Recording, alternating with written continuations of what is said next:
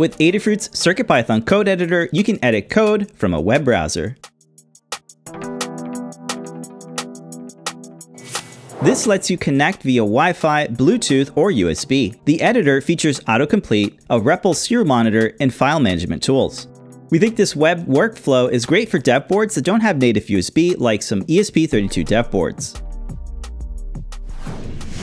To get started, we'll install CircuitPython onto our Feather ESP32v2 using circuitpython.org. We'll search for the dev board on the website, launch the device page, and click Open Installer.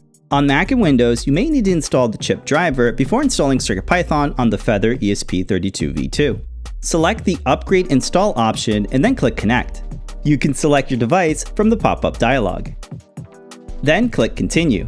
The website will erase the flash and install the latest version of CircuitPython. Once installed, you'll want to press the reset button on your dev board. We can then click close once it's completed. Now we can head over to code.circuitpython.org.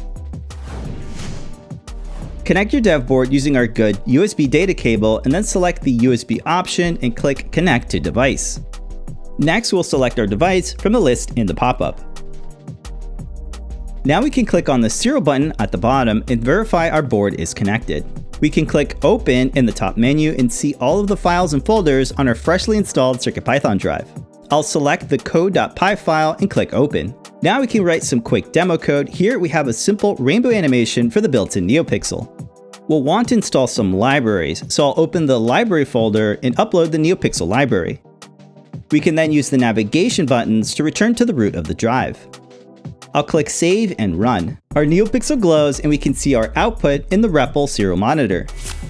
We think this is a great way to write and develop CircuitPython code. We hope this inspires you to try out the CircuitPython code editor.